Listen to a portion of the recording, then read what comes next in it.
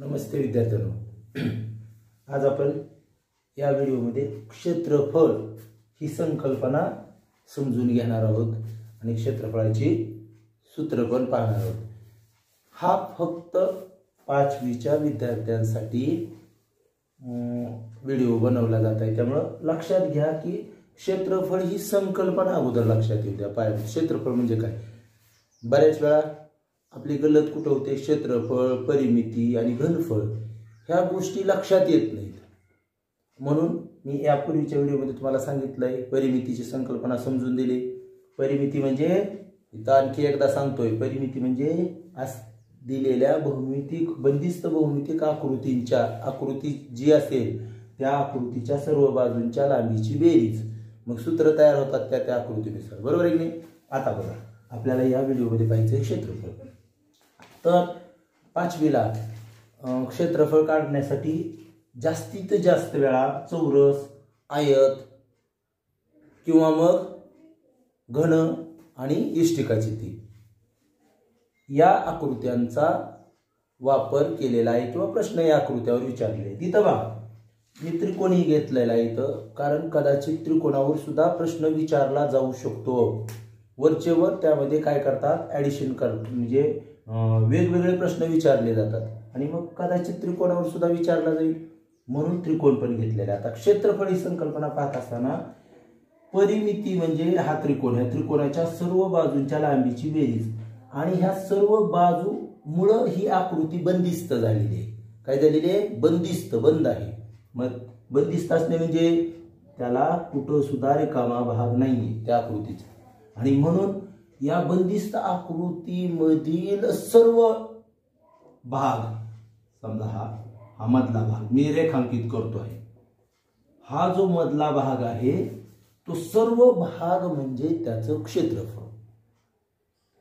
या आकृतीचं क्षेत्रफळ.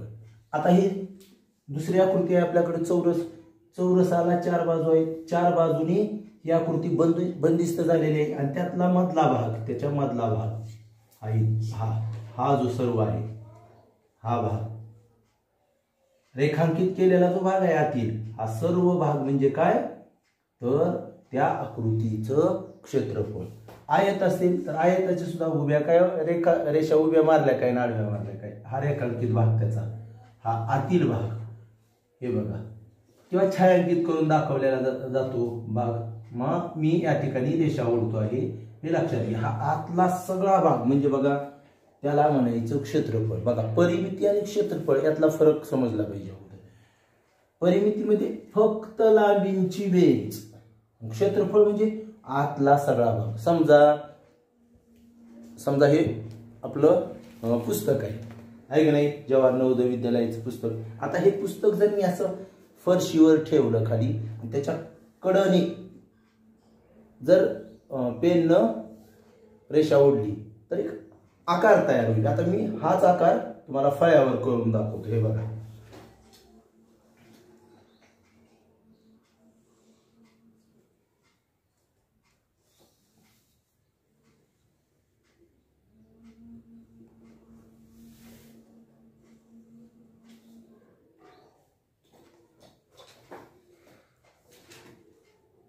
हा बघा हे आपल्या पुस्तक पुस्तक काय केलेलं आहे मी या ठिकाणी ठेवलं. असंच मग आपण खाली सुद्धा ठेवलं तर असं करता येईल आपल्याला आकृती. मग याचा आकार कसा आहे? आहे आहे. आणि मग त्या पुस्तकाने ज्यावेळी मी पुस्तक या फळ्यावर ठेवलं होतं त्यावेळी हा एवढा भाग व्यापला होता. आहे की नाही त्या पुस्तकानं? म्हणून त्या पुस्तकाचं क्षेत्रफळ काढताना आपल्याला ह्या सर्व भागाचं क्षेत्रफळ काढावं लागेल मधल्या. म्हणजे क्षेत्रफळ. बघा आधी संकल्पनाच समजली का? मग तुम्ही छान सोडवू शकतात. आता बघा मग आपण इथं पाहूया आता क्षेत्रफळाची संकल्पना समजल्यानंतर. तुम्हाला माहिती आहे आपण घर घर बांधतो ऐक नाही. ऐक नाही आपल्या घरा घर घरामध्ये फरशी बसवतो. फरशी कुठं बसवतो रे आपण? खालच्याच भागात बसवतो का नाही? एक एक फरशी एक एक फरशी. मग त्यावेळी सुद्धा आपल्याला फरशा फरशी घराची जागा किती आहे? फरशा किती लागतील? किती फरशा बसवाव्या लागतील? असा ज्यावेळी प्रश्न विचारला जाईल त्यावेळी आपल्याला आपल्या ज्या ठिकाणी फरशी बसवायची त्या जागेचं क्षेत्रफळ काढावं लागेल. आता बघा मग इथं आपण त्रिकोण आहे. आता त्रिकोणाचे क्षेत्रफळ काढताना एक गोष्ट आपल्याला लक्षात घ्यावी लागेल की त्रिकोण कोणताही असला तर त्रिकोणाच्या क्षेत्रफळाचं सूत्र काय आहे? त्रिकोणाचे क्षेत्रफळ. बरोबर. एक अंश दोन गुणिले पाया गुणिले उंची. आता बघा या ठिकाणी पाया आणि उंची हे आपल्याला समजलं पाहिजे. आता पाया हा तर समभुज त्रिकोण आहे? मग इथं पाया कुठं दिसतोय? तर पाया आता मी ह्या वरच्या शिरोबिंदूपासून असा लंब अशी लंब रेषा काढली तर नव्वद अंशाचा कोण झाला याला म्हणायचं उंची. लक्षात घ्या.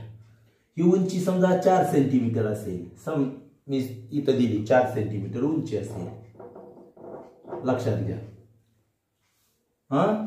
तर आपला पाया काय असेल? ही उंची कोणत्या याच्यावर नव्वद अंशाचं कोण केलंय कोणत्या बाजूवर? खालच्या बाजूवर. मग तो पाया झाला. मग इथं मात्र आपल्याला काय करावं लागेल? ह्याचं क्षेत्रफळ काढताना एक अंश दोन गुणिले उंची काय रे आपली इथं? बरोबर चार आहे. आणि गुणिले पाया सहा. मग बेक बेचोर सॉरी बेदोनी चार. आणि सहा दोन्ही दोन्हीचा गुणाकार बारा. आता बारा हे आलं पण बघा आता एक काय होतं? सेमी. मग मी इथं सेमी लिहिलं तर चालेल काय? तर याचं उत्तर निश्चित आहे की ते चालणार नाही. कारण आपण परिमिती नाही काढलेली. नुसती लांबी मोजली का पण नाही आतला भाग.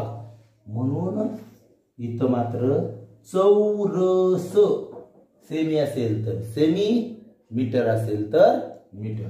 हे लक्षात घ्या. आता बघा.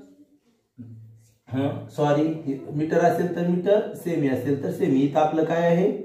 सेमी आहे की नाही? म्हणून सेमी चौरस सेमी आता बघा तुम्ही म्हणाल असं नस असाच हीच फक्त उंची असू शकते का? अजिबात नाही. समजा मी जर इथून असा लंब या बाजूवर टाकला. तर ही उंची होईल. पाया हा होईल. उंची ती चारच आहे. चारच येणार आहे. आणि पाया सहाच येणार आहे. म्हणून क्षेत्रफळ सुद्धा बारा चौरस सेमी येणार आहे. हे लक्षात घ्या. आता चौरसाच्या बाबतीत पाहू. चौरसाचे क्षेत्रफळाचं सूत्र आहे. बघा. चौरसाचे चौरसाचे क्षेत्रफळ. बरोबर. तर ही एक बाजू आहे. त्याचं सूत्र बघा बाजू गुणिले बाजू. बाजू गुणिले बाजू. बाजू गुणिले बाजू. का? ही बाजू सारखी ही बाजू. दोन बाजू. चारही बाजू सारखे आहेत. त्याचं सूत्र आहे बाजू गुणिले बाजू. आता तुम्हाला माहिती आहे आपण म्हणजे वर्ग वगैरे पाहिले जर मी असं लिहायचं असेल मला पाच गुणिले पाच. तर हे कसं लिहितो वर्गाच्या स्वरूपात? तर बघा असं लिहितो. पाचचा वर्ग. लिहितो की नाही आपण? मग दोन वेळा पाच आहे म्हणून पाचचा वर्ग. मग बाजू किती वेळा इथं? दोन वेळा. म्हणून सूत्र झालं बाजूचा वर्ग. हे लक्षात घ्या. आणि नेहमी ध्यानात ठेवायचं. ध्यानात काय ठेवणार तुम्ही? की चौरसाचं सूत्र मग ते परिमिती असो किंवा क्षेत्रफळ असो बाजूवरून आहे. चौरसाचे सूत्र बाजूवरून कारण सेम बाजू आहेत त्याच्या सारख्या बाजू आहेत त्यांची लांबी सारखी आहे म्हणून बाजूवरून सूत्र हे चौरसाचे. आता बघा आयत. आयताच्या बाबतीत बरं याचं उदाहरण हे क्षेत्रफळ काढूया लगेच. आता आपण या चौरसाचं क्षेत्रफळ काढूया. या चौरसाची बाजू दिली आठ सेमी. बरोबर? मग आठ सेमी आपलं सूत्रच आहे बाजूचा वर्ग म्हणजे आठचा वर्ग. मग आठ गुणिले आठ तुम्हाला लिहायचं तर लिहू शकतो आपण आठ. आठ आठी चौसष्ट. आता इथं सेमी लिहिलंय मी. एकक दिलेलं सेमी आहे. मग आपल्या क्षेत्रफळाचं एकक सुद्धा काय येणार? चौरस सेमी हे बघा एकक लिहिताना क्षेत्रफळाचे चौरस सेमी असं बी लिहिलं जातं किंवा सेमीचा वर्ग असंही लिहिलं जातं. वर्ग म्हणजे सुद्धा चौरस सेमी इथं सुद्धा बघा सेमीचा वर्ग असं सुद्धा लिहिलं जात. लक्षात येत का? त्यानंतर बघा आपण आयताच्या बाबतीत विचार करूयात. हा. आयताच्या बाबतीत विचार करताना जरी चौरसाला चारही बाजू चारच बाजू असल्या आयताला चारच बाजू असल्या तरी त्यामध्ये महत्त्वाचा फरक चौरसाच्या सर्व बाजू सारख्या असतात. आयताच्या दोन दोन बाजूंची जोडी सारखी असते की नाही? दोन बाजूची म्हणजे ह्या दोन बाजूंची लांबी सारखी आणि ह्या दोन बाजूंची रुंदी म्हणायची पण लांबीच असते ना ती. छोटा येऊ ना आपण रुंदी म्हणतो त्याला. आता बघा. मग आयताचे क्षेत्रफळाचं सूत्र काय? तर बघा आयताचे क्षेत्रफळ. एक बाब लक्षात ठेवा. आयताच्या क्षेत्रफळ असो किंवा परिमिती असो त्याची लांबी आणि रुंदी वेगवेगळी असते. म्हणून त्याची सूत्र कशावरून आहेत? लांबी आणि रुंदीवरून. मग आयताचे क्षेत्रफळ बरोबर लांबी गुणिले रुंदी लांबी गुणिले रुंदी आता लांबी गुणिले रुंदी आपण याचं क्षेत्रफळ काढूया लांबी किती आहे आपली पंधरा दिलेली आणि रुंदी किती दिलेली आहे दहा पंधरा आणि दहा यांचा गुणाकार दीडशे चौरस